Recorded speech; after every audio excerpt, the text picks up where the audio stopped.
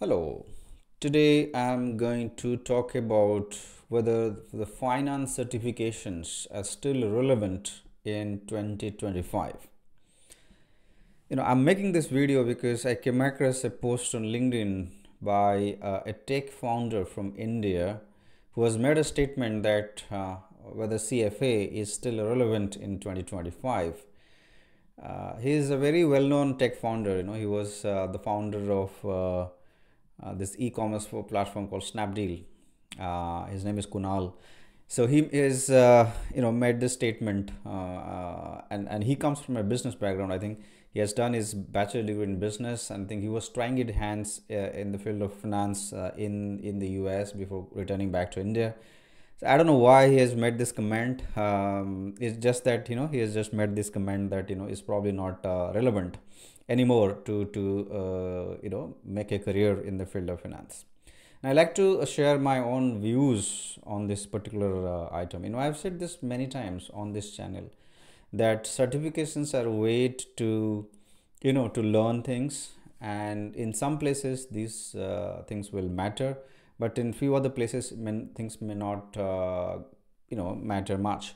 Uh, also depends on at what career level you are at you know so it's it's, it's very subjective. So there is no uh, straightforward answer to this question as in it's not a yes no type of a question right? It, it all depends uh, on on you know what kind of career you're looking for what kind of what stage uh, of career you are in and, and all of that.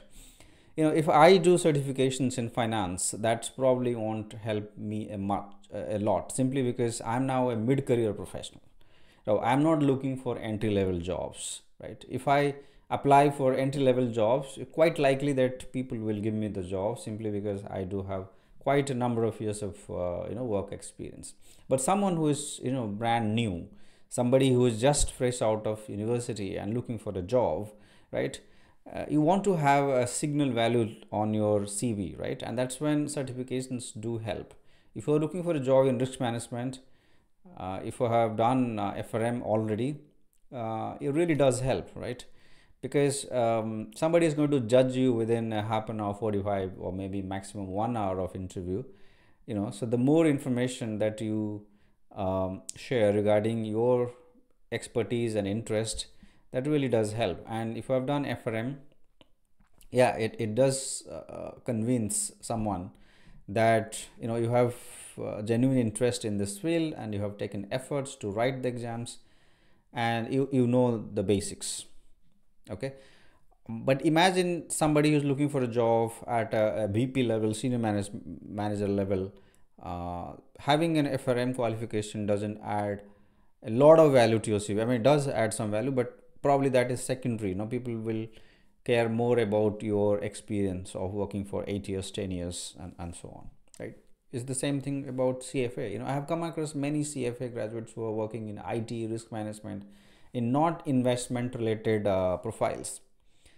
And that's quite, you know, the thing is that I've spoken many times to them that, you know, why don't you make a career in investment? The reason is simple that despite having a CFA degree, they simply cannot move to an investment profile simply because they do not have work experience. So, certifications uh, do not matter at senior level. You know at entry level yes good. But uh, beyond a point um, they don't matter much right? But for entry level uh, jobs the competition is by far the most right? Uh, that's when you find it very difficult to enter a field. And that's when you need the certifications uh, more right?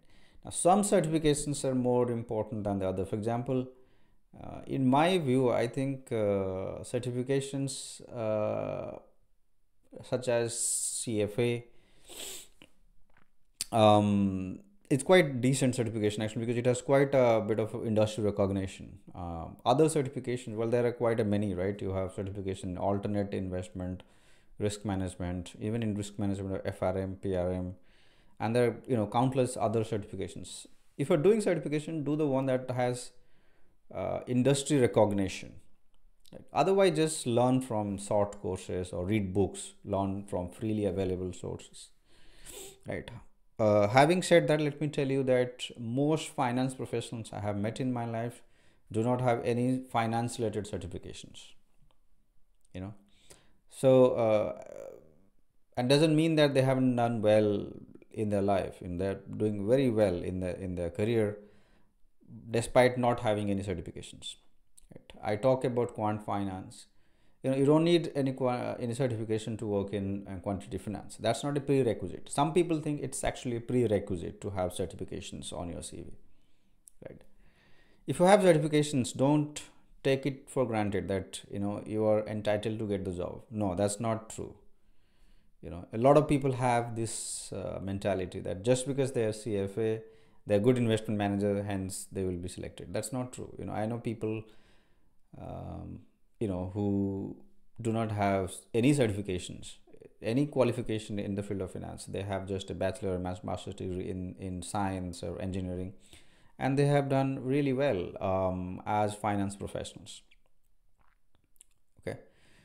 Uh, so you should do certifications for right reasons especially early in your career when you have time when you are uh, will you know you, you are looking for growth opportunities i think it's good to do certifications right? Uh, and most certifications in finance are not too expensive, right? FRM, PRM, C, uh, CQF, uh, oh well, CQF is quite expensive, but CFA, CFA and FRM at least are not too expensive compared to you know what you would otherwise pay if you do a master's degree from uh, a reputed uh, university, which would you know cost you over 10,000 uh, US dollar, even more, a lot more in foreign in, in US and Europe.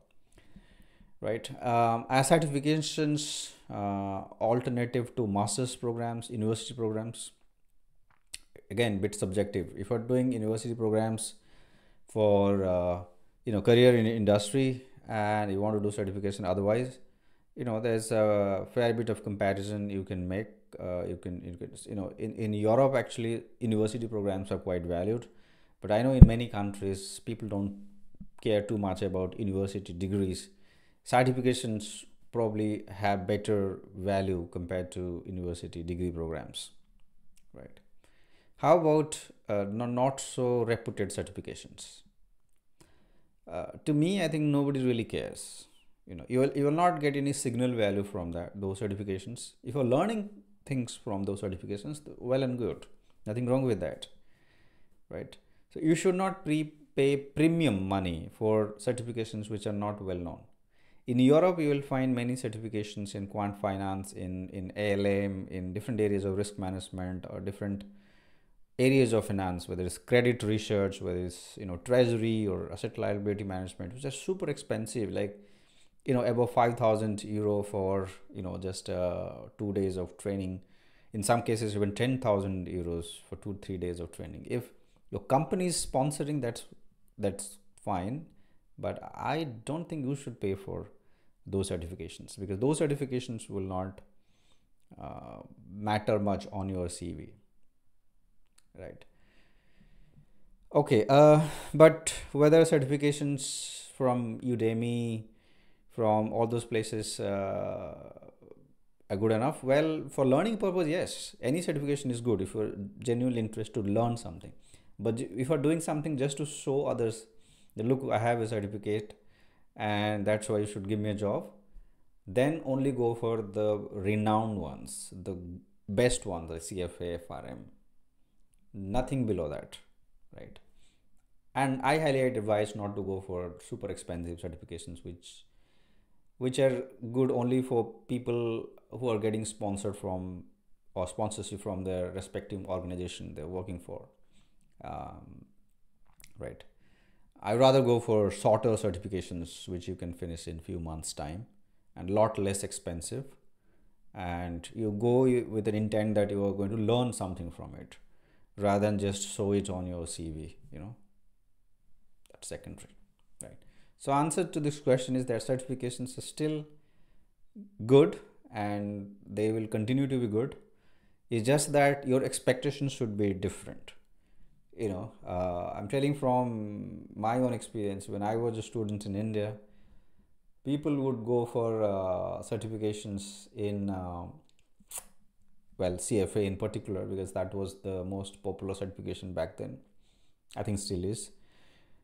Uh, with the intent that okay they will be hired by Goldman Sachs and Morgan Stanley and BlackRock and and you know they will have an easy path to that. I'll tell you many of my former colleagues who did CFA did not have a chance to work for large investment banks or asset management firm. Uh, you know, in fact, many of them have actually switched careers. They have moved to other jobs, non-finance jobs. Some of them actually work in e-commerce. You know, uh, one other certification I would like to talk about is the actuarial certification. You know, that's also a good certification that many people do not know about. That's also quite a good enough qualification if you want to work in in the field of finance. Accountancy certifications are prerequisite in many places. So is uh, you know the actuarial certification right if you want to become a qualified uh, you want to work as an actuary at an insurance firm you have to be a qualified act, uh, actuary similarly if you want to work as a qualified accountant at a consulting firm like big four consulting firm uh, or at uh, at any firm then and you have to be a qualified accountant a qualified chartered accountant right? So that's a prerequisite for those roles. So i'm not even talking about those certifications they're obviously different and uh, but i'm talking about you know the likes of cfa and frm and so on. You know those certifications are more optional rather than you know prerequisite all right thanks guys. Any questions let me know in the comment section